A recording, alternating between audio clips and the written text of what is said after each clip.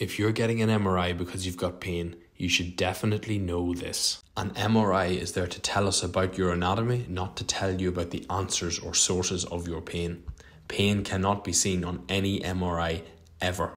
Every MRI scan is going to come back with multiple findings, and it's crucial that you know which questions to ask when you are getting your results. Otherwise, you will have gained a lot of information about your anatomy, but you haven't gained any clarity about how that relates to your symptoms. So maybe drop me a follow because I can definitely help you with that last piece. If you are not told how your MRI findings compare to someone of the same age and gender, you have no clue to know whether those findings are something to worry about or something to dismiss. People in pain and people who have no pain have many of the exact same findings on MRI, so it's incredibly important that you understand which findings are normal age related changes and which may be relevant for your symptoms. Otherwise, you might have a ton of unnecessary fear, worry, and anxiety about the structure of your body, and that is not going to help your pain.